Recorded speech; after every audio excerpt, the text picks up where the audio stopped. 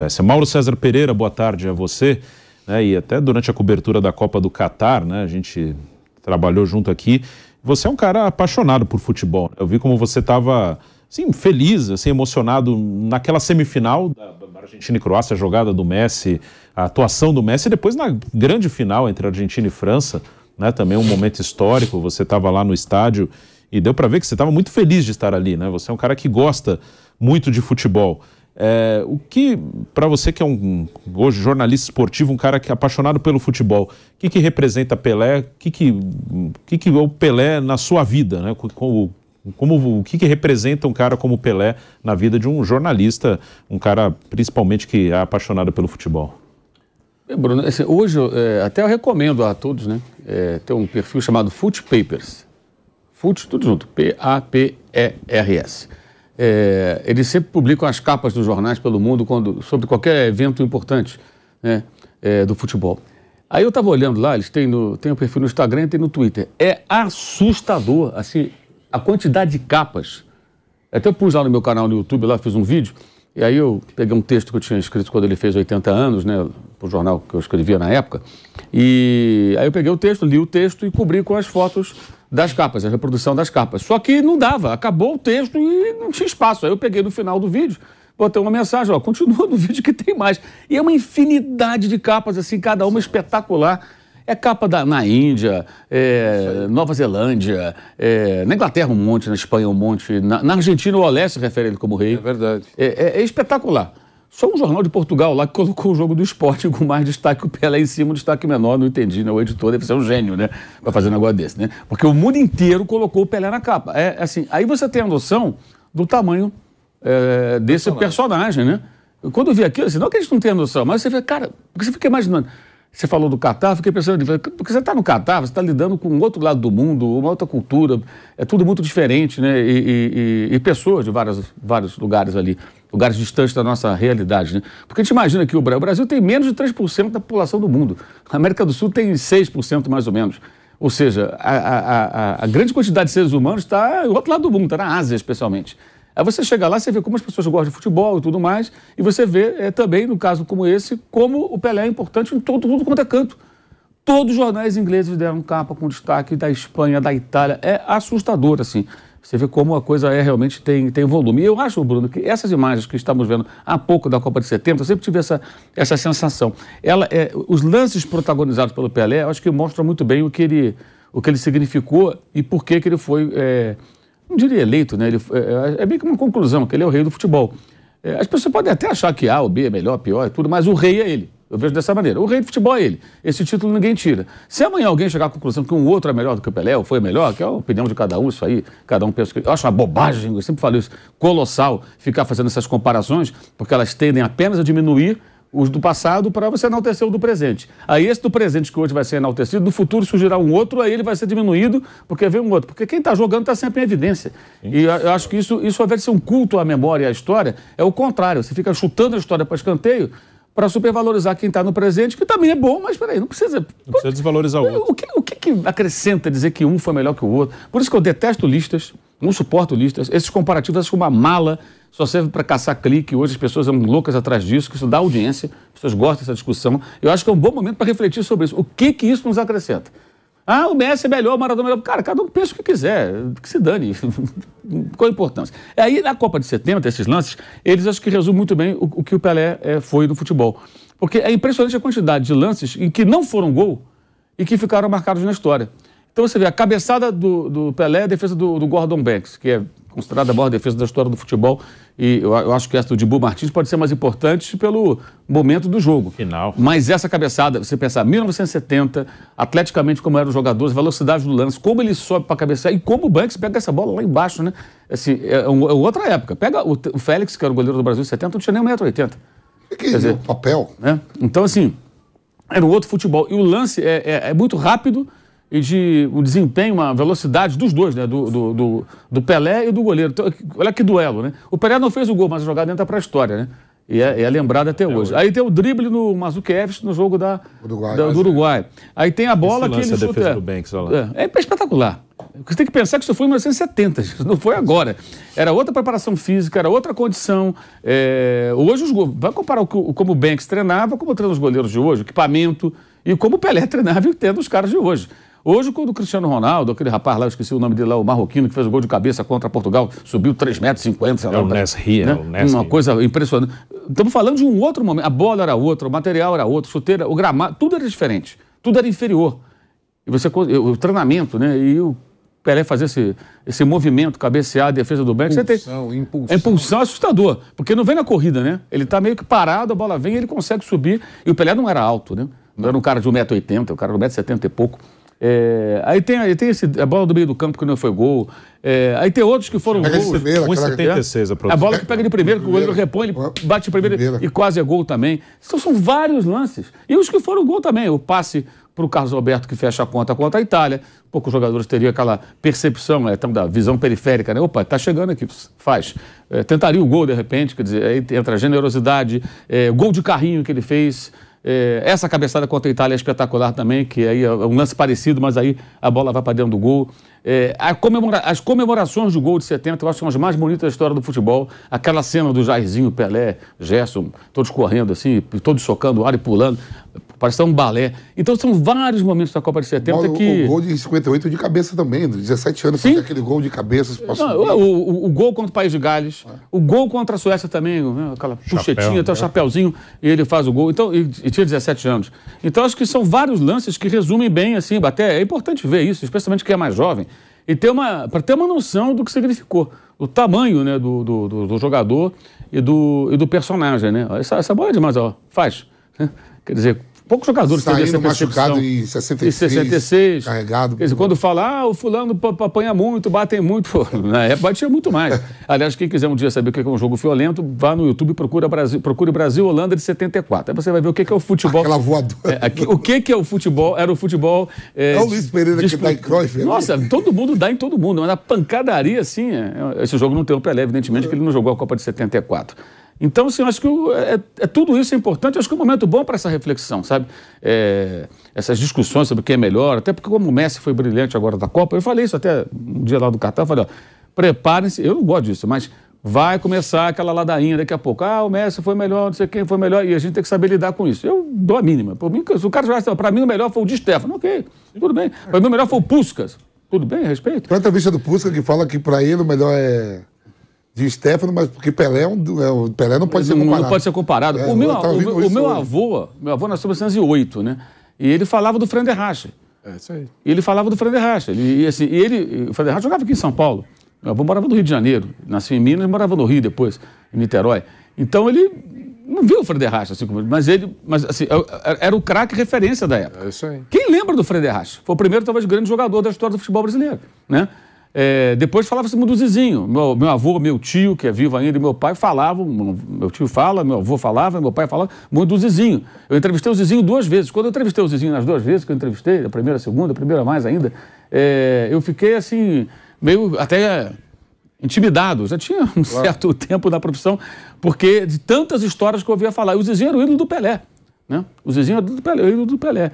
Até na segunda vez que eu entrevistei foi legal, porque no final acabou, ele marcou a entrevista no, num bar, onde ele se reunia toda terça-feira com os amigos em Niterói, ele morava em Niterói. Né?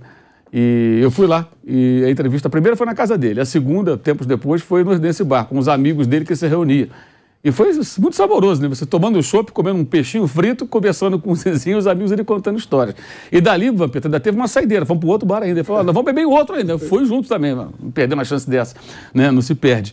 Então, assim, é, é, eu acho que o Pelé, ele, ele, ele, ele né, só as imagens da Copa de 70, né, até de 58 também, evidentemente, eu acho que dão um, um, resumo, porque tem lances que não foram gol e que entraram para a história. Como, como, é que você consegue isso, né? É, é que, Aquele lance quem será capaz? É uma coisa de... Né? Não, e tem mais ainda, tem um outro lance que eu acho que é importante também no futebol, não é apologia à violência, mas até saber da porrada o cara sabia, né? Porque ele, vai, ele devolve no, no, no é, é Fontes, né, o jogador, acho que era Fontes, não me lembro agora o nome exato, o lateral do, do, do, time do Uruguai, já tinha dado uns papos no Pelé, tem uma jogada que ele deixa o cotovelo armado e o camarada sai, né? Ele vai, vai a knockdown ali, vai ao solo. É, que também é outra coisa que era muito importante, mais nesse futebol. Agora com VAR, menos. Mas antes, o jogador é, é, é mais talentoso. Era, era, o mundo da época. Não, não é saber é, se defender da intimidação. Porque o jogo de futebol, eu sempre falo isso, é um jogo de intimidação, gente. Um ameaça o outro, chega junto, não, é ingenuidade achar que o jogo é todo mundo bonitinho com fair play. Fair play é papo furado. É um jogo de intimidação. Se o cara puder intimidar o outro, assustar o outro, o outro for um pipoqueiro, vai intimidar. E o pipoqueiro vai bater a vara no saco não vai pegar na bola. Então, sempre que o jogador pode intimidar o adversário, ele tenta intimidar. Achar que isso não existe é ingenuidade. É viver no mundo da fantasia, que não, que não é realidade. E nessa época mais ainda, né? E o Pelé, até nisso, ele era bom, né? É, é, eu, eu, escrevi no, lá no, no UOL, até um texto ontem, que eu penso assim, o Pelé era 9,5 em tudo. É, ele não era o melhor cabeceador, não era o que chutava melhor de direita, ele não era o melhor lançador. Sempre tinha alguém melhor. Mas ele era 9,5 em tudo, por isso que ele era 10. Porque ele, se você fosse fazer uma avaliação, ele, tiraria, ele tiraria 9,5 em tudo. Mas sempre você vai encontrar. Quem lançava melhor? Pelé. Ah, o Gerson era um lançador melhor do que o Pelé. Mas o que, que ele fazia melhor que o Pelé? Mais nada, lançava melhor que o Gerson era um craque. Né? Você vai pegar, de repente, sei lá, o, o jogador que cabeceava bem. É, tinha o Escurinho nos anos 70, eu me lembro. Dadá Maravilha. Dadá Maravilha, jogou com ele na Copa é. de 70. Jogou, não jogou, mas estava na Copa de 70.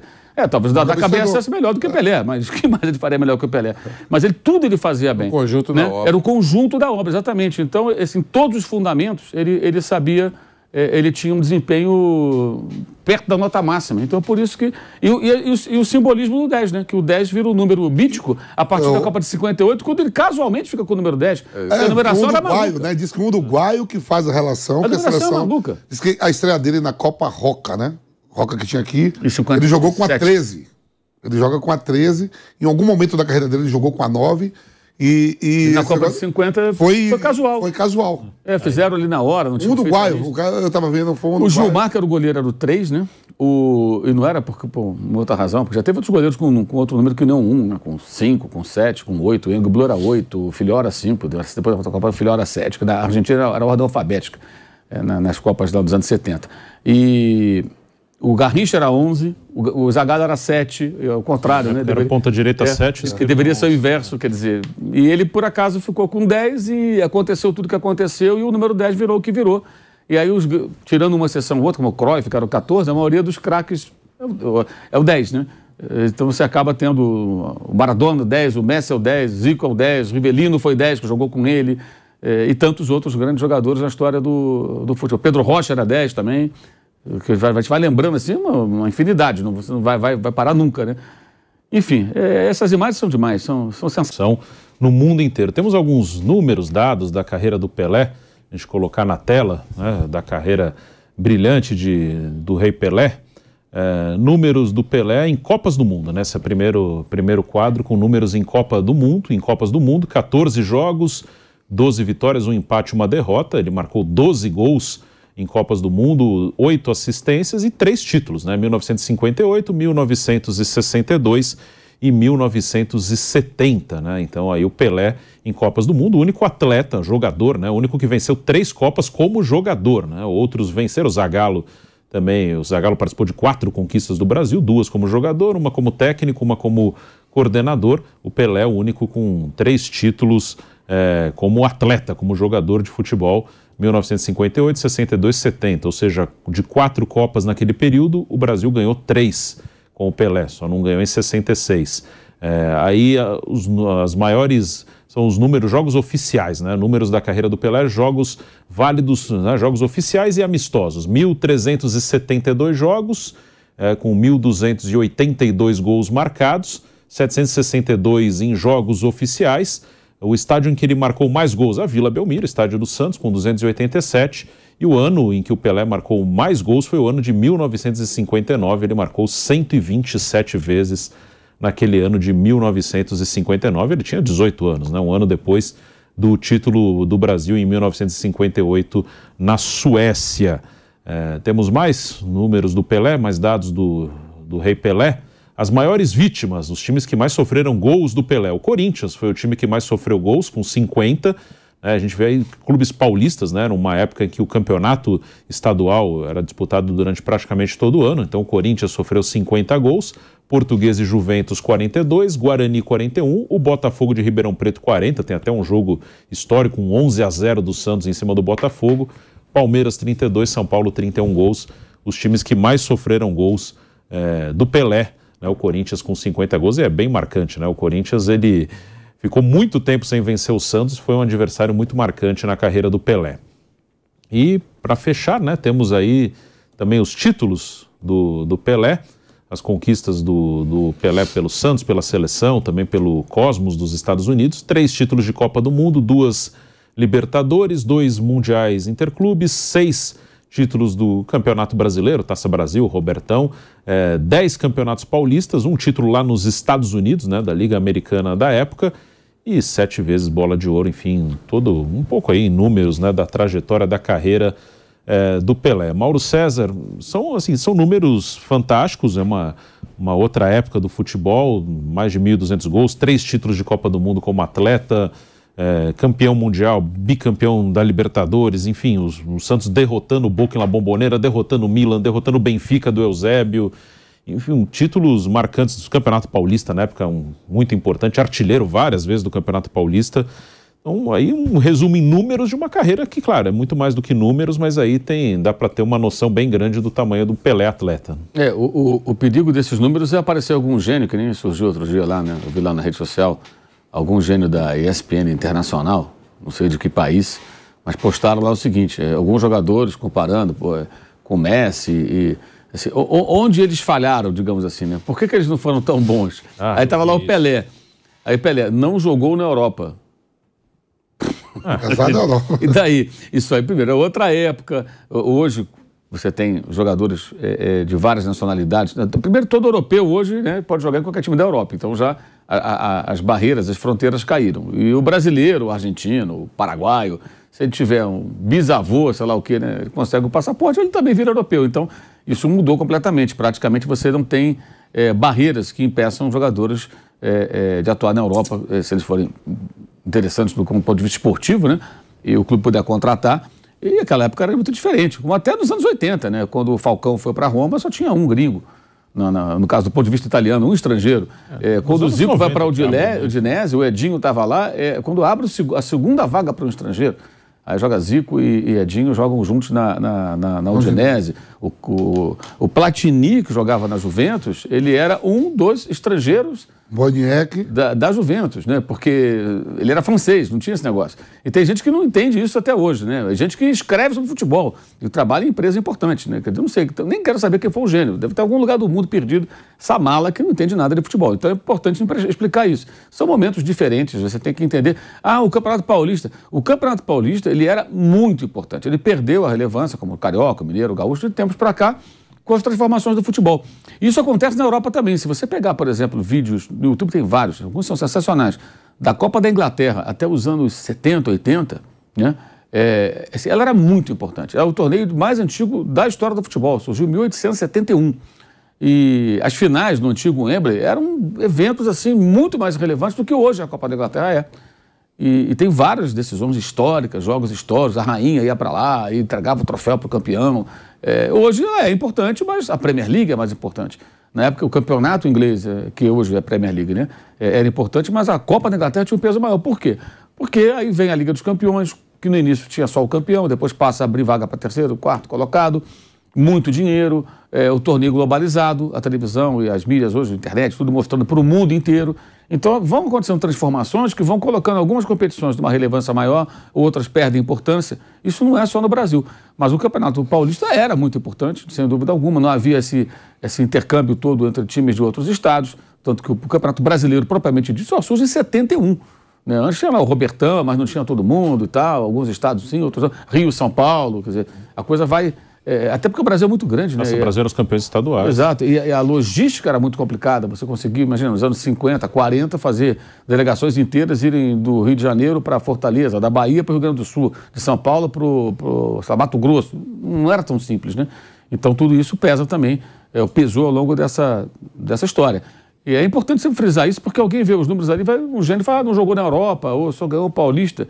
Né? Se você pegar pessoas da minha geração, eu tenho 59 anos, é, é, e, e perguntar, corintianos especialmente, sobre o título mais importante que viram, muitos vão falar que foi o título paulista 77. E foi mesmo. Sim. Aquilo foi um acontecimento, um grande acontecimento. Quem se lembra, quem acompanhou, sabe o que significou. Ah, eu, eu acompanhava lá do Rio de Janeiro e assim, era assunto na escola, era assunto no trabalho das pessoas, dos vizinhos, todo mundo via. E o Corinthians vai ser campeão, o Corinthians vai ser campeão. É Parece que vai ser campeão. Foram três jogos, né? Três jogos espetaculares com a Ponte Preta. Então, são momentos diferentes da história. Eu acho que nessas horas sempre a gente tem essa, essa obrigação até de bater nessa tecla, porque nu, nunca vai faltar um gênio para mandar uma pérola dessa. Não jogou na Europa, só ganhou o Campeonato Paulista ou coisa parecida, né? Era outra. E, e mais, né? É, é, nesse cartel de títulos tem também Libertadores, ganhando do Boca Juniors na Bomboneira e tudo mais. É, até a Libertadores, que na época não tinha para o brasileiro a relevância que tem hoje, ela, ela passa a ter uma relevância mais recente, né? É, é, tempos para cá. Até isso está no currículo dele. É então, do Penharol e do Boca. Exato. É importante você pontuar isso, para, especialmente para os mais jovens ou os desmiolados que não têm memória entenderem que a relevância dele é muito grande num contexto de um outro futebol. Como talvez as pessoas que hoje veem o Messi com todo o seu cartel de títulos, talvez daqui a, a 30, 40, 50 anos tenha uma outra, outra formatação, outros campeonatos, outras coisas aconteçam. Talvez falha, só o campeonato espanhol, sei lá, sete vezes. Isso, isso. É, ah, isso não é importante. Não é importante, talvez mude, né? A gente não sabe o que vai acontecer. Então, eu acho sempre importante frisar isso, especialmente diante da quantidade de besteiras que aparecem, especialmente em rede social, né, nessa época. Principalmente por conta dessas malditas listas, né? Sim. Como diria Flávio Gomes, se eu fosse presidente do mundo, eu proibiria as listas. Eu também, eu detesto todas as listas, prêmios, eu nem é o da FIFA eu gosto, é nem bola chato. de ouro, por mim não é tinha prêmio chato. nenhum. Também. Só serve para esvaziar, assim, é, é, é para dar bico na história, você, a tendência de valorizar o presente é isso aí. e em detrimento do passado, e aí você acaba escanteando, não dando o devido valor a personagens tão importantes, não só no futebol, né, mas acho que em tudo.